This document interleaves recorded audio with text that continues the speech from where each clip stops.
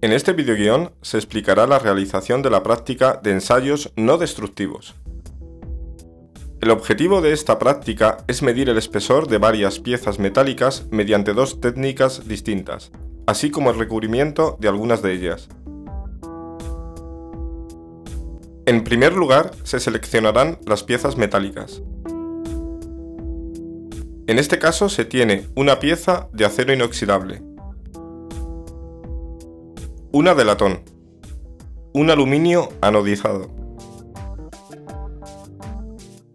un acero pintado y una última pieza de acero galvanizado, pintado por una de las caras. En la primera parte de la práctica se medirá el espesor de cada pieza con un micrómetro. Para medir el espesor de la pieza con el micrómetro, se desplazará el usillo girando el tambor móvil. Tras ello se situará la pieza entre el yunque y el usillo, girando ahora el tambor móvil en sentido contrario, hasta que la pieza quede bien sujeta entre el yunque y el usillo. La lectura del espesor se realizará mediante las escalas de los tambores fijo y móvil.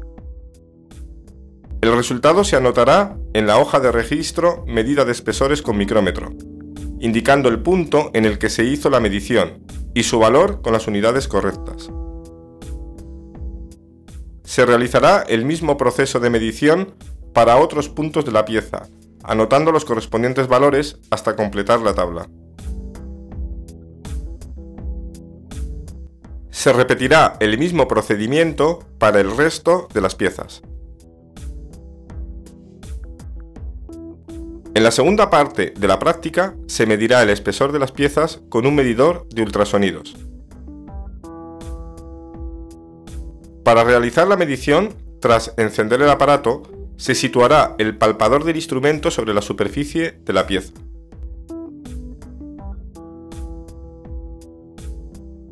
Si se hace esto de manera directa, no se observará lectura alguna en el display.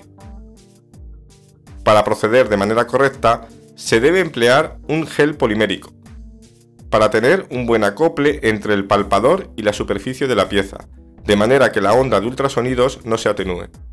Una pequeña cantidad de gel será suficiente para medir todas las piezas.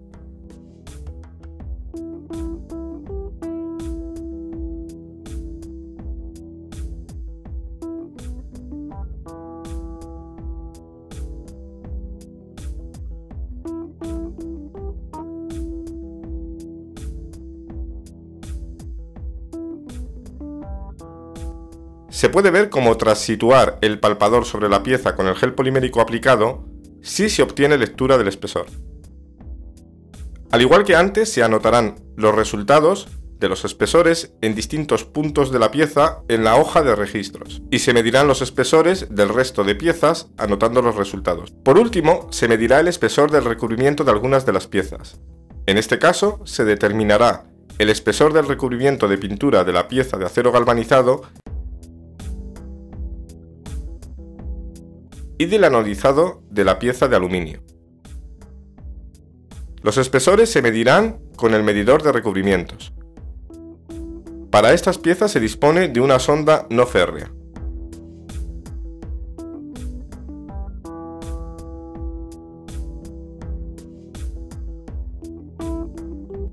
Sin necesidad de encender el instrumento, se situará la sonda sobre la superficie de la pieza, obteniendo de manera directa el espesor del recubrimiento en el display del aparato.